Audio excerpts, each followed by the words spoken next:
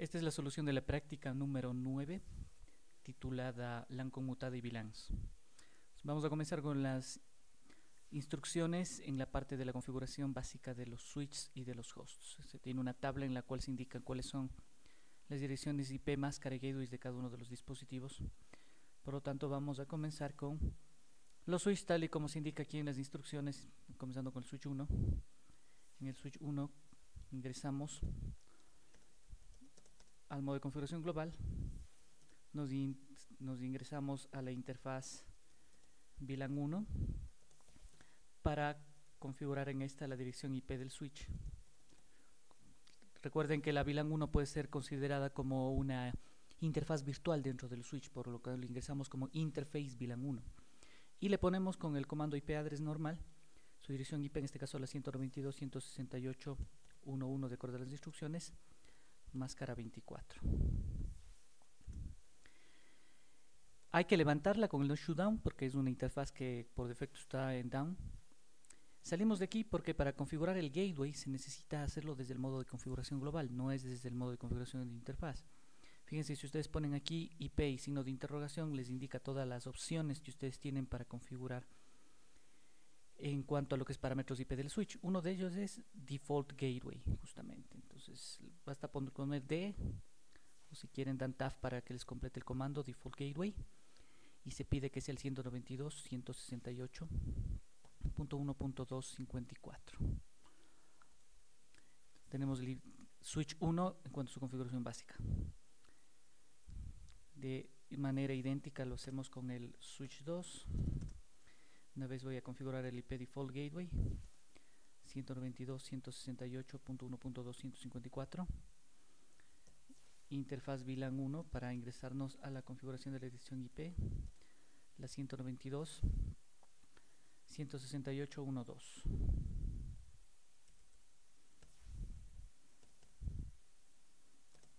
no se olviden la máscara. 24 en este caso. Y la levantamos y el switch 3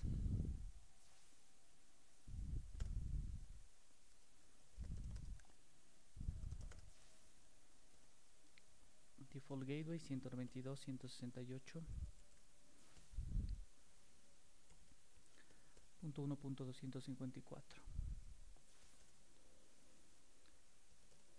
y en la interfaz VLAN 1 su dirección IP sería la 192.168 1.1.3 nos solicitaba en las instrucciones máscara 30 levantamos. Ahora vamos a la configuración de los hosts.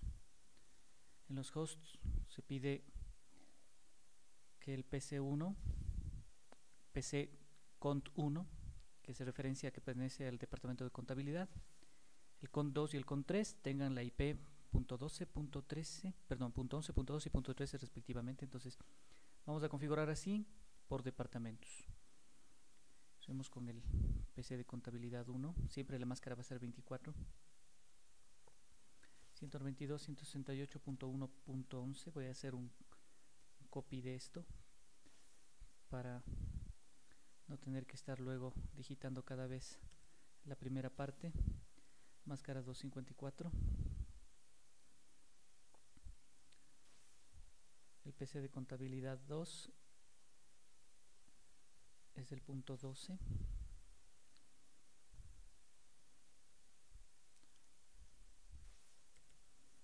Gateway 254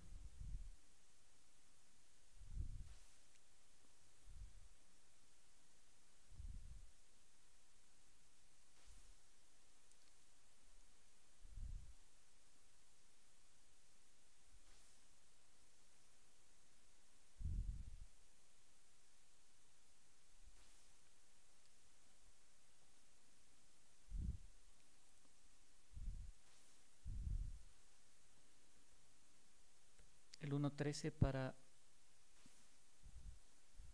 el PC 3 de contabilidad. Para los PCs del departamento de soporte, PC SOP 1, el 2 y el 3 respectivamente, tenemos que configurar la interfaz, perdón, la IP 21, 22 y 23, la punto 21, punto 22 y punto 23. Comencemos con el PC de soporte 1 siempre el Gateway 254 que hace referencia a la interfaz de un, de un router que en este caso no lo, no lo tenemos considerado en la práctica pero que usamos como gateway siempre ese 254 de soporte 2 es la punto 22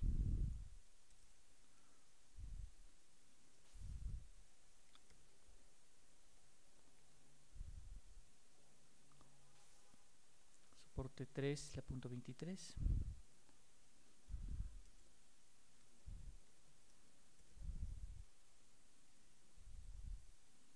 y para los PCs del departamento de ventas la punto 31, 32 y 33 respectivamente.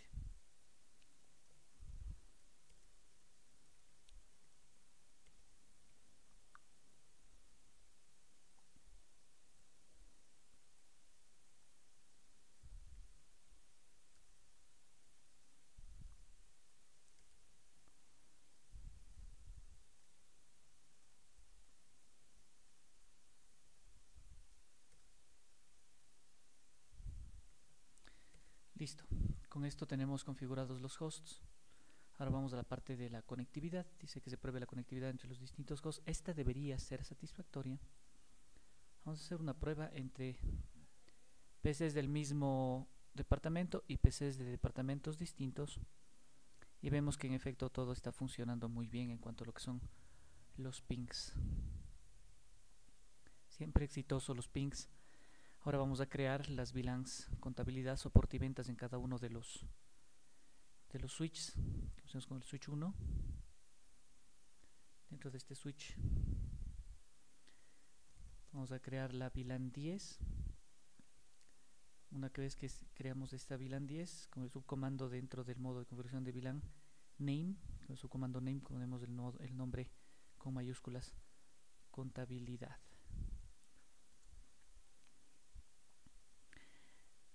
No es necesario salirnos del modo de configuración de VLAN, podríamos poner aquí mismo VLAN 20 y aquí el subcomando name soporte. Y también la VLAN 30 nombre ventas.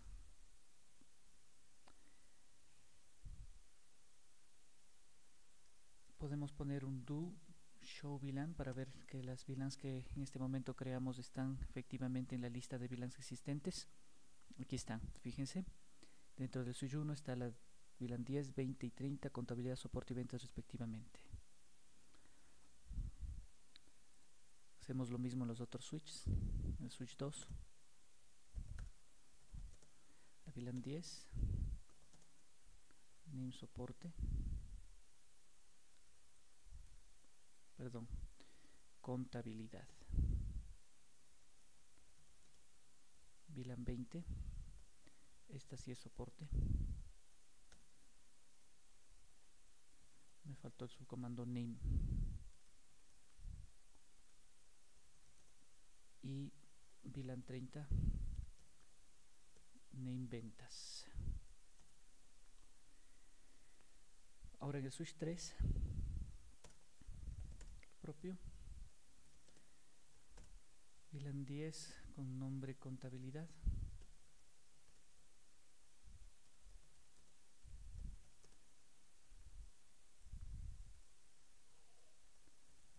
VLAN 20 soporte y VLAN 30 ventas. Listos hasta aquí. Ahora tenemos que configurar en cada uno de los switches los puertos desde el fase de 01 al 4 como troncales, 5 al 9 como acceso con VLAN asignada 10, 10 al 14 acceso con VLAN asignada 20 y 15 al 24 con acceso con VLAN asignada 30. Recuerden que un puerto ya es puerto de acceso de por sí por defecto, de modo que si es que hay que cambiarle su asignación, su modo de operación es a troncal realmente. Entonces, comencemos con el switch número 1. Salgamos de aquí y nos vamos a entrar a la interfaz rango range faz de Ethernet 01 guion 4 para ingresarnos de una vez a todas las cuatro primeras interfaces switch port mode trunk. Con eso estamos configurando todos esos puertos a modo troncal desde el 1 al 4 de una vez vamos a entrar a la interfaz range faz de Ethernet. Fíjense podemos recuperar el comando anterior de la interfaz range.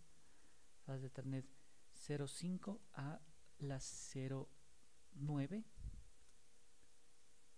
switch port access VLAN en este caso 10 ingresamos a las interfaz range 10 hasta la 14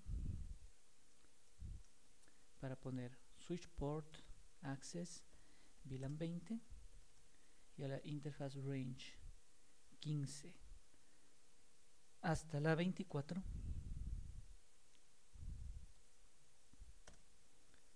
switch port access VLAN 30 vamos a hacer un do show VLAN para ver justamente que se hayan asignado estos puertos. Fíjense está bien. Siguen la VLAN 1 los puertos desde el 1 hasta el 4 que son puertos troncales. No se lista el de Ethernet 1 porque el de Ethernet 1 no estamos utilizándolo activamente en el switch. Aún está, está en down quiero decir ¿no? y tiene que levantarse para poderlo para poderlo tener aquí en la lista. Solo se va a levantar el momento en que cambiemos a modo troncal el respectivo puerto en el switch 2 está aunque esté en verde lo que está caído es su protocolo de línea. Ahora vamos a hacer lo mismo con el switch 2 el switch 2 vamos a ingresarnos a interface range faz de Ethernet 01 hasta la 4 switch port mode trunk. Listo. Ahora vamos a el uh, interfaz desde la 5 hasta la 9 switch port access a la 10 desde el 10 hasta el 14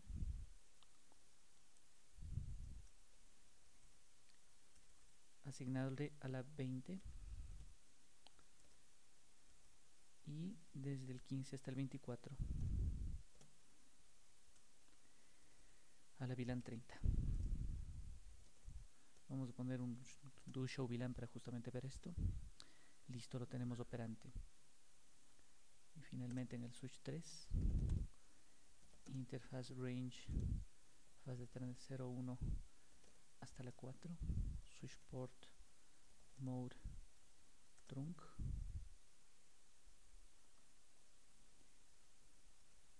La interfaz desde la 5 hasta la 9 switch port access VLAN 10 desde la 10 hasta la 14 asignarles a la 20 y desde la 15 hasta la 24 hasta el puerto 24 asignado a la VLAN 30 perfecto. Hagamos un do show VLAN para estar seguros que la configuración se realizó. Muy bien. Tenemos operante esto ahora vamos a aquí tenemos un puerto el faz de Ethernet 15 que tiene algún problema de conectividad. Chequeemos esto porque puede ser.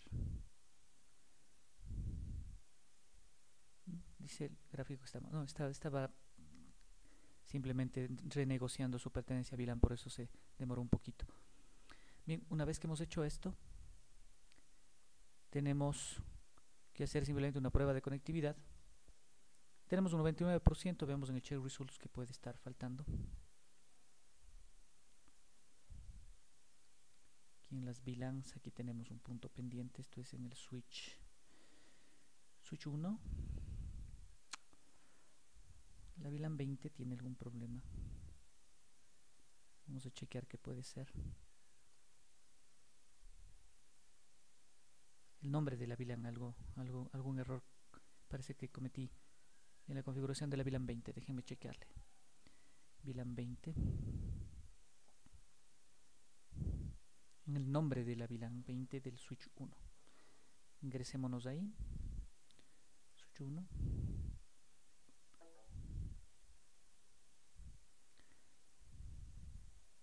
Claro que sí, miren.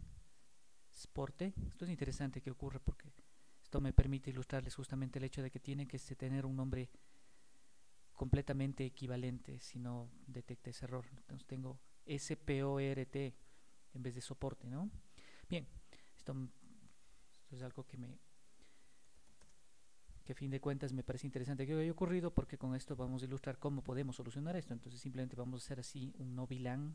Recuerden que el problema está en la VLAN 20. Entonces ponemos un no VLAN 20 do show VLAN